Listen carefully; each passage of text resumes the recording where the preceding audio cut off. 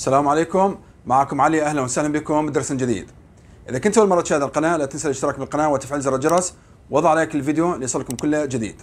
البعض يتابع القناة لكن نسى يشترك بالقناة قبل ما تتابع القناة تأكد أنك ضاغط على زر الاشتراك ومفعل زر الجرس ليصلك كل يوم فيديو جديد بإذن الله. نتكلم في هذا الفيديو عن تركيب مهم في اللغة الإنجليزية.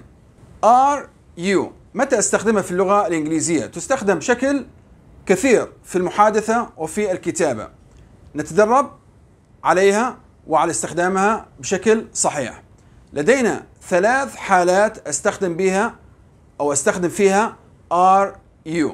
كما نعلم you أنت you أنت you أنتما على حسب ترجمتها are بمعنى يكون are you متى أستخدمها كما قلنا لدينا ثلاث حالات.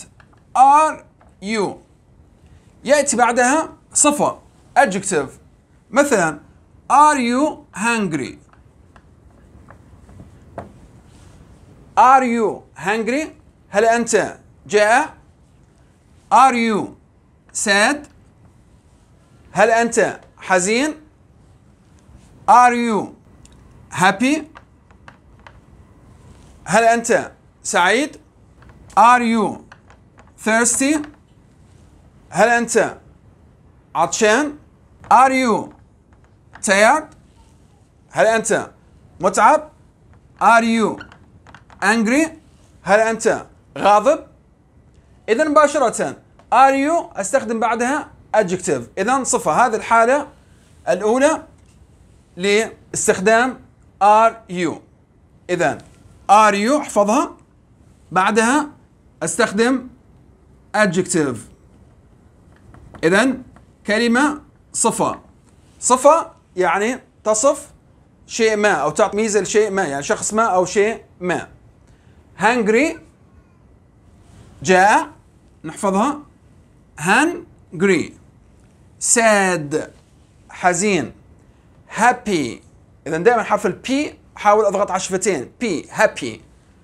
happy thirsty thirsty عطشان tired tired متعب angry غاضب are you hungry are you sad are you happy are you thirsty are you tired are you angry اذا نحفظ الحاله الاولى بعد are you تاتي adjective صفه ونصف بها شيء ما من المهم دائما. الكلمة التي لا أعرفها أحاول أكتبها وأحفظها وأحفظ معناها ولفظها. أيضا الحاله الثانية لاستخدام are you يأتي بعدها noun. اذا يأتي بعدها اسم. Are you a teacher هل أنت معلم؟ Are you an engineer هل أنت مهندس؟ Are you a driver هل انت سائق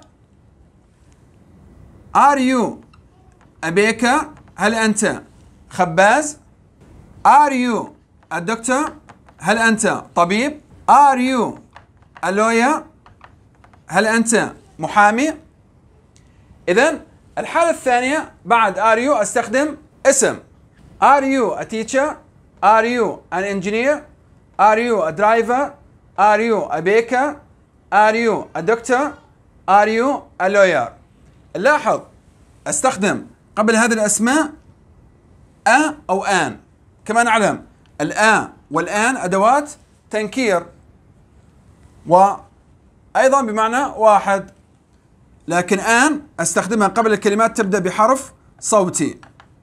إذا نسميه vowel letters. يعني an أستخدمها إذا كانت الكلمة بعدها فيها حرف O يعني تبدأ بحرف O أو A أو عندنا I U E. ما عدا ذلك استخدم a لاحظ engineer في عندنا حرف E عندنا استخدمنا an بينما teacher حرف T استخدمنا a ممكن شخص يقول لماذا؟ خلاص لغتهم حرين بها لا صح نقول are you teacher are you a teacher أيضا ممكن شخص يسأل. a و an هل لها ترجمة؟ ليس لها ترجمة لكن بمعنى نكرة. Are you a teacher هل أنت معلم؟ معلم ماذا؟ لغات ولا رياضيات؟ عربي؟ إذا غير محدد.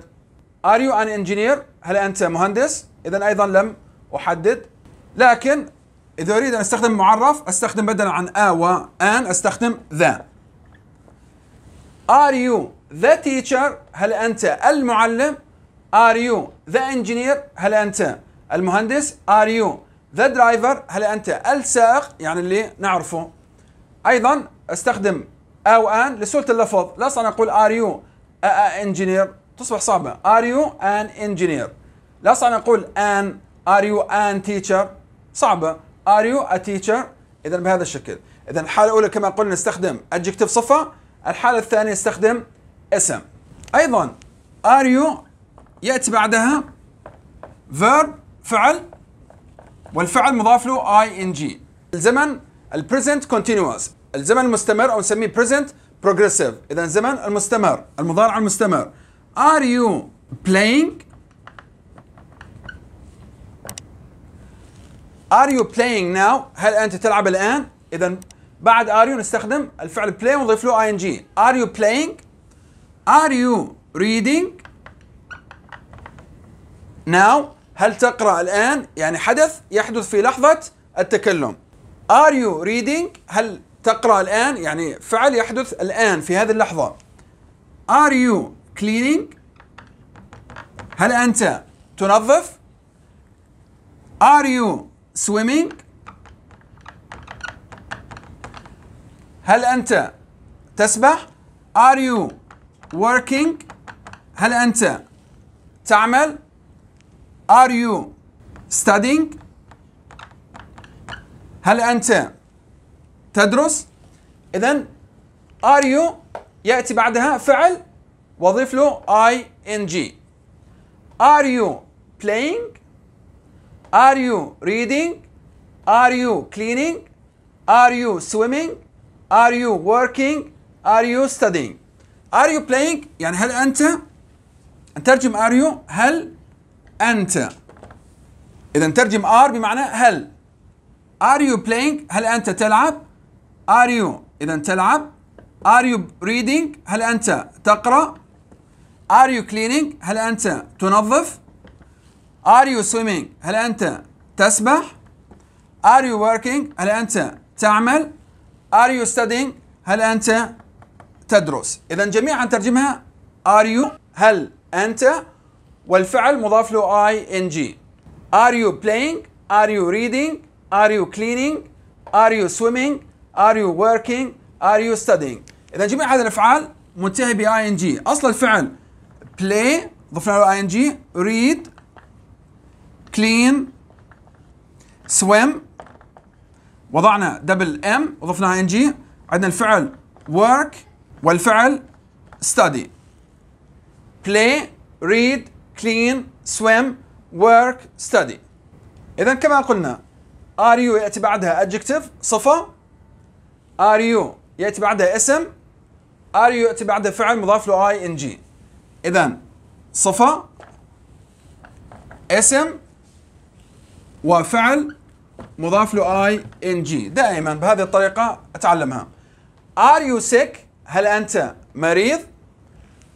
أستخدم كلمة sick أو كلمة ill اذا نفس المعنى. sick ill are you a pilot هل أنت طيار؟ لاحظ اسم. are you driving هل أنت تقود أو تسوق في هذه اللحظة؟ اذا صفة اسم والفعل مضاف له ing طبعا الفعل drive حذفنا ال e وضفنا ing أريد أن أجيب على هذا السؤال. لاحظ. شخص يسألني Are you sick Yes I am No I am not Yes I am No I am not أو اختصرها. Yes I'm بدل عن ال a أضع apostrophe I'm. أو اختصر I'm not.